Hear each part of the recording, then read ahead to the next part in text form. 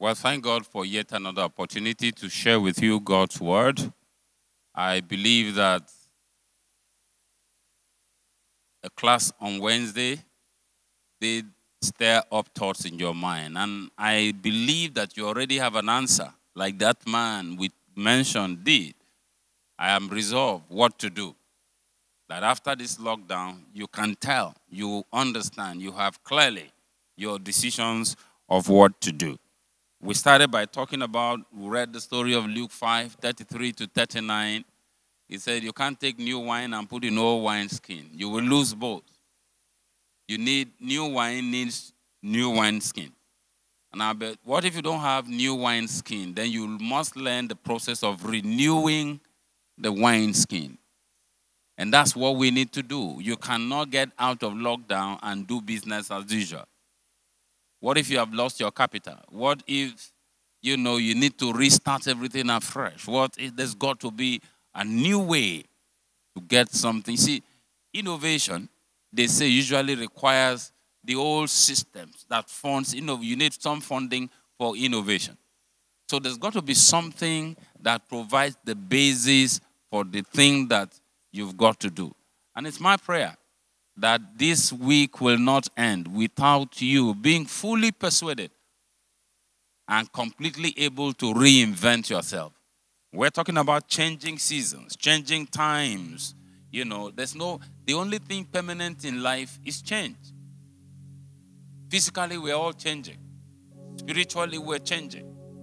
So I want you to not look for excuses to remain the way you have always been. You must come to our new reality. Father, we ask help, speak to us. Let your word make sense and let there be a revelation. Speak, ignite the word, and let faith come alive in our spirit man. Grant us the boldness and the courage to act on the thing that you are speaking to us during this season. We give you praise and glory in Jesus' name. All right, let me take you to the story of Pharaoh and Joseph in Egypt. Now, you know the story very well. Genesis 41. Genesis 41. Look at verse 25 of Genesis 41. Verse 25 says, Now Joseph said to Pharaoh, Pharaoh's dreams are one and the same. God has told to Pharaoh what he is about to do. And we close on Wednesday saying to you, What's God saying you to do? I like Pharaoh. He had this dream he could not understand. So he made effort to gain understanding. He spoke to everybody he could reach. The people around who could bring an interpretation, he went after them. None of them gave him a convincing interpretation. And they brought Joseph from prison. He didn't say, This prisoner, what would that, if he was that good, why would he be in prison? He listened to Joseph and was persuaded. And you too, I expect that in this present circumstance, God may have spoken to you, but somehow you are not able to decode what God is saying. Learn from Pharaoh's example. Make effort to understand what God is saying to do. Talk to a prophet, somebody who can decode deep, hard sentences, as King James would say. Somebody who can show you from scripture. This is what I perceive. This is what God was saying to you. And then you can ask. From then, verse 20, he said, The seven good cows are seven years, and the seven good years are seven years. The dreams are one and the same. Verse 27, we're reading Genesis 41, verse 27. The, the seven lean and ugly cows that came up after them are seven years, and the 17 years, scorched by the east wind, will be seven years of famine. It is as I have spoken to Pharaoh. God has shown to Pharaoh what he is about to do. I pray that God will show you what he is about to do. I like verse 29. Behold, seven years of great abundance are coming in all the land of Egypt. I prophesy that season upon you. Seven years of great abundance. You may not be a farmer, but you will go through a season of great abundance. And after that, seven years of famine will come, and all the abundance will be forgotten. in the land of Egypt, and the famine will ravage the land. So the abundance will be unknown in the land because of that subsequent famine, for it will be very severe. I don't know at what level your own resource is. But for them in Egypt, now this is long before it came, which was why we tried to convince you long before now that you are a supernatural being. Your life should not be controlled by the economy of Nigeria. Your life should not be tied to the people around you, the people you know, the things you know how to do. Your faith should be in God, not in human beings. Now, maybe you have lost everything you have had in this lockdown. Now, listen to this. What were they supposed to do? As for the repeating of the dream to Pharaoh twice, it means that the matter is determined by God and God will quickly bring it to pass. Now, let Pharaoh look for a man discerning and wise and set him over the land of Egypt. Let Pharaoh take action to appoint overseers in charge of the land and let them exact the fifth of the produce of the land of Egypt in the seven years of abundance. Then let them gather all the food of these good years that are coming, store up the grain for good, for food in the cities under Pharaoh's authority, and let them guard it. You see, food banks didn't begin now. That dream interpreting boy called Joseph started that enterprise in Egypt to preserve that land in the second seven years. He took action. Now, but Pharaoh is our study today, not Joseph. What will he do? Let Pharaoh take action, appoint overseers. Now, what will you do? What's your own story? Pharaoh did not just pray. No, no, no. He took action. What to do? The steward we read about on Wednesday evaluated himself. I'm about to lose my job. I cannot dig. I'm not very strong. I don't know how to beg. I am ashamed. Then he resolved what to do. He had data. He knew who was owing, he knew how much they were owing, and so he could act on it. What did Pharaoh do? In verse 25, there's a new season coming. God is about to do something. We read Ezekiel 1:12. He said, Follow the spirit, go with the wind. What's God going to do after the lockdown? That's what you should find out. You can't be wrong following the spirit of God. You can't be stranded following the spirit of God. And so Pharaoh just follow the wind. Find a man. Who do I need post lockdown? For Pharaoh, it was easy. What do I do? Make appointment. Verse 34, verse 36. Appoint a man over the land, then serve 10 20% of the proceeds of the land in the seven years coming. He took that word. It didn't come from the London School of Economics or from Harvard or from John Hopkins.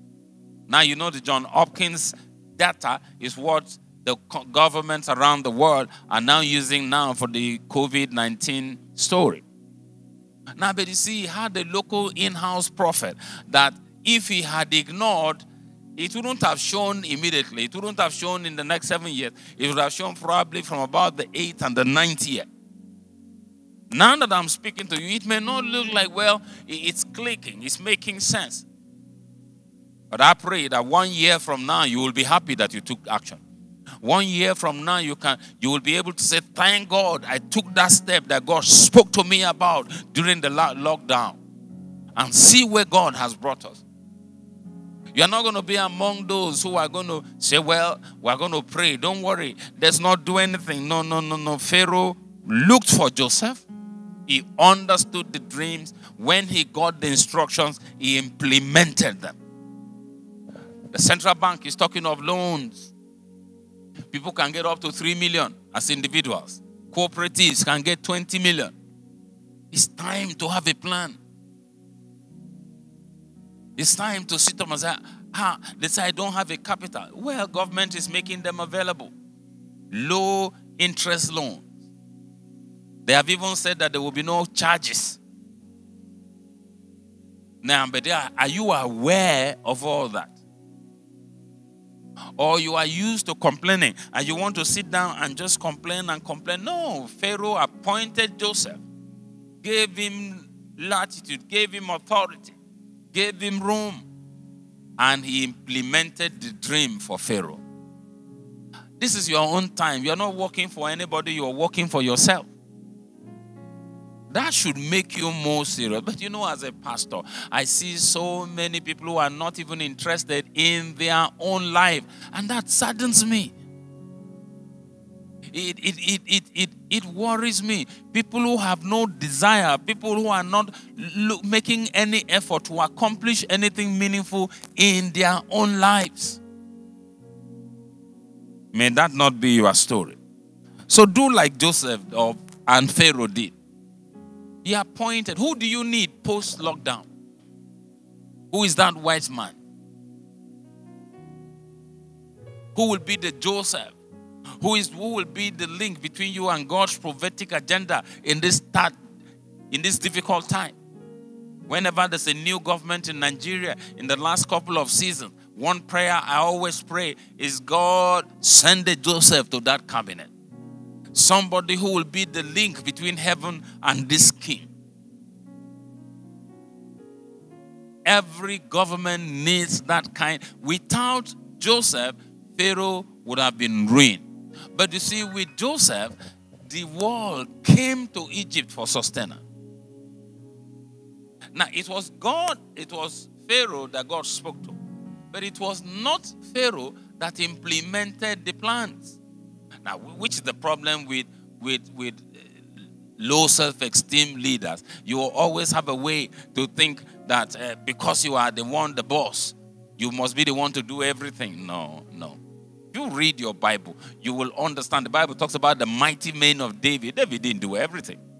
He fought in the wars, oh yes, but they remember that the time came when he said, the people said to him, You will no longer fight with us. You are the light of Israel. Don't quench our light because he had dependable people around him. Who are those around you? Do you listen to counsel? Or you think you know everything, so everybody around you should be the one listening to you? No. No. That will be one of the ways. We close on Wednesday talking about you choosing your company. Proverbs 13 20 says, He that walks with the wise will be wise, but a companion of fools will be destroyed. Who are your closest people? Do they have a plan for the post lockdown people? What were you even doing during that season? Were you associating with wise people who are futuristic in their thinking and in their plans? May the Lord help you in the name of Jesus. So Pharaoh prayed, he, he acted, and we said things you must do. Listen, we're going to have seven years of plenty. So, what do we do during that time? We build silos, we store grains. Now, under the hand of Pharaoh, it is not the kind of store you can open every day. Nobody was to have access to it. Look at how the federal government and, of course, our state government, and that's very interesting, that our state government from locally produced food in our state can send trucks and trucks of meals around the state. Now imagine that you, as an individual, could have done that. If you also took God's word seriously and followed the instructions. Families in Egypt could have done that. So they, they stored grains in a way that they could not reach. And then during the season of famine, you see, we don't do the same thing in different seasons. During their first seven years, they stored. During the second seven years, they opened up the stores and began to eat from what they had kept. He said, Pastor, we cannot have any store. Listen, you cannot be wiser than God. He said 20%. 20%. 2010. We thought our people from this scripture. No, no, no. I think it's from 2000. We said to them, from 2000, by 2010, we want to see world class people. The next 10 years, do a club 2010, club 2010, sign up. You must live on 70% of your income. Invest 20. And of course, give your tithe as 10. And we saw all kinds of poor people, 2,000, 1,000. Today, many of those people, low income people, they live in their houses. They have well established businesses from that little investment club. Of course, we could see from scripture that if you kept aside 20%, there was, there was abundance of food, there was a lot of money. God didn't even say 50%, 20%. They put it aside in Egypt. He could keep them for another seven years when there was severe famine. So you can't say, I don't have enough. No, you need, you keep aside something before you start spending. It's tough, it's difficult. I understand. I preached it. I found it difficult.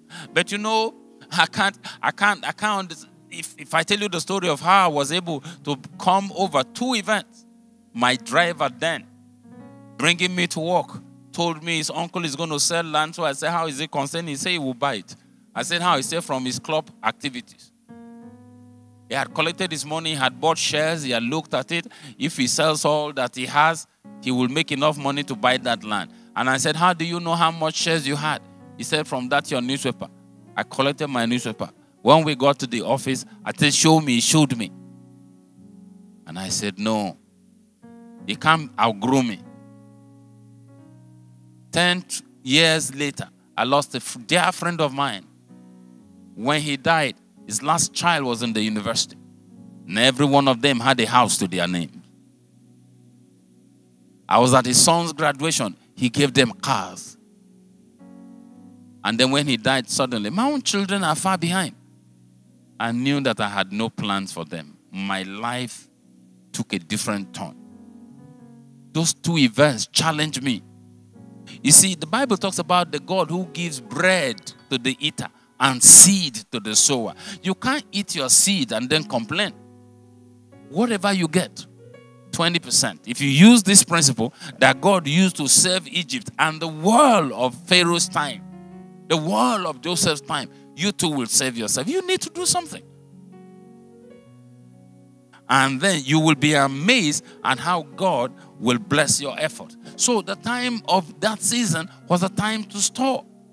So as you come out of the lockdown, I think that it's going to be a time to invest or to do something from the little that you have left over.